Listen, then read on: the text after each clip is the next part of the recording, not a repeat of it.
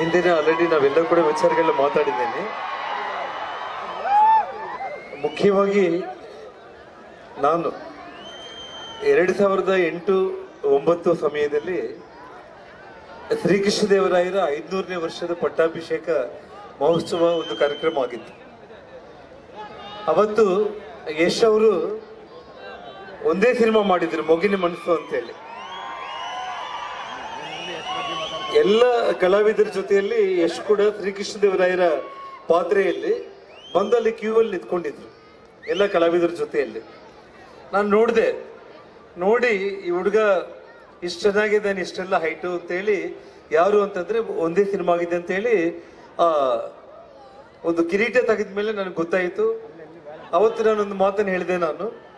ಖಂಡಿತವಾಗ್ಲೂ ಕೂಡ ಇಡೀ ಕರ್ನಾಟಕದಲ್ಲಿ ರಾಜ್ಕುಮಾರ್ ಕುಟುಂಬ ಅವ್ರ ಮಕ್ಕಳು ಎಷ್ಟು ಹೆಸರು ಮಾಡಿದ್ದೀರೋ ಅದನ್ನ ಮೀರಿ ನೀವು ಹೆಸರು ಮಾಡ್ತೀರಿ ಅಂತ ಹೇಳಿ ಹೇಳಿ ಜಸ್ಟ್ ನಾನು ಯಶೋರಿಗೆ ನಾನು ಅವತ್ತೇನು ಒಂದು ವಿಶ್ ಮಾಡಿದೆ.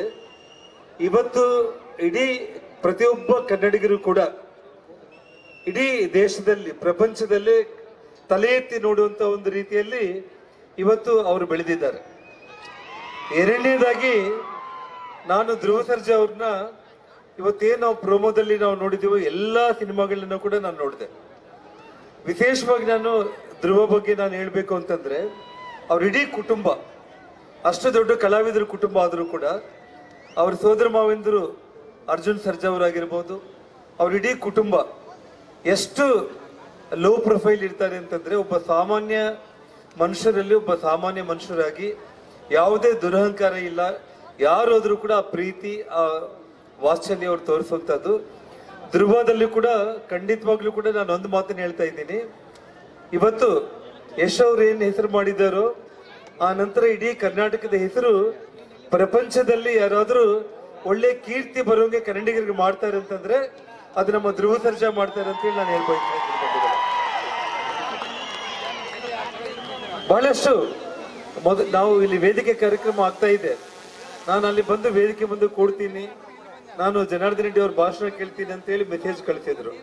ನಾನು ಹೇಳಿದೆ, ಯಾಕಂದ್ರೆ ಪ್ರೋಗ್ರಾಮ್ ಎಲ್ಲ ಇದಾಗ್ಬಿಡುತ್ತೆ. ಯಾಕಂದ್ರೆ ಜನ ಬಂದಿರೋದು ನಮ್ಮ ರಾಜಕಾರಣಿಗಳ ಒಂದು ಭಾಷಣ, ಇದೆಲ್ಲ ಒಂದ್ ಕಡೆ ಆದ್ರೆ ಕಲಾವಿದರ ಬಗ್ಗೆ ವಿಶೇಷವಾಗಿ ಧ್ರುವ ಸರ್ಜಾ ಬಗ್ಗೆ ಇರುವಂತ ಒಂದು ಪ್ರೀತಿ, ಇಲ್ಲಿರುವಂತ ಎಲ್ಲ ಜನರು, ಯುವಕರು ಕೂಡ ನೋಡಿ ಎಷ್ಟು ನಿಶಬ್ದವಾಗಿ ನಿಮ್ಮನ್ನ ಕಣ್ತುಂಬ ಎಲ್ಲರೂ ನೋಡ್ಕೊಂತ ಇದ್ದಾರೆ ಅಂತಂದ್ರೆ ಅವ್ರ ಪ್ರೀತಿನೇ ಕಾರಣ.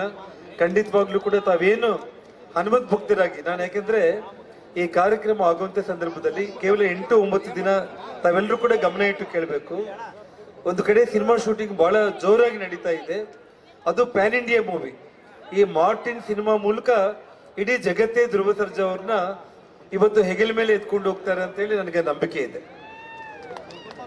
ಇವತ್ತು ಹನುಮಂತ್ ಭಕ್ತರಾಗಿರೋ ಕಾರಣ ಕುಟುಂಬ ಖಂಡಿತವಾಗ್ಲೂ ಕೂಡ ಧ್ರುವ ಸರ್ಜಾ ಈ ಒಂದು ಪುಣ್ಯಭೂಮಿಗೆ, ಹನುಮನ ನಾಡಿಗೆ ಅವ್ರು ಬರಲೇಬೇಕು ಅನ್ನುವಂಥ ಒಂದು ನನ್ನ ಆಸೆ ಇತ್ತು. ಒಂದೇ ಒಂದು ಮಾತಿಗೆ ಅವ್ರಿಗೆ ತಿಳಿಸಿದ ತಕ್ಷಣ ಅವರು ಇಲ್ಲಿ ಬಂದು ತಮ್ಮೆಲ್ಲರನ್ನೂ ಕೂಡ ನೋಡಿ ಮಾತಾಡಿಸ್ಬೇಕಂತ ಬಂದಿದ್ದಾರೆ. ಖಂಡಿತವಾಗ್ಲೂ ಕೂಡ ಬರುವಂಥ ದಿನಗಳಲ್ಲಿ ಪ್ರತಿಯೊಂದು ಆ ಹನುಮಂತನ ಅದ್ಭುತವಾದಂಥ ಕಾರ್ಯಕ್ರಮಗಳು.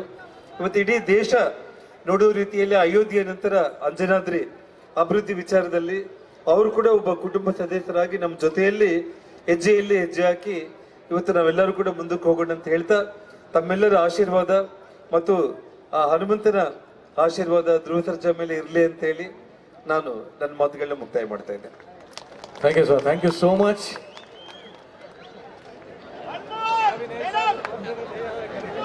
okay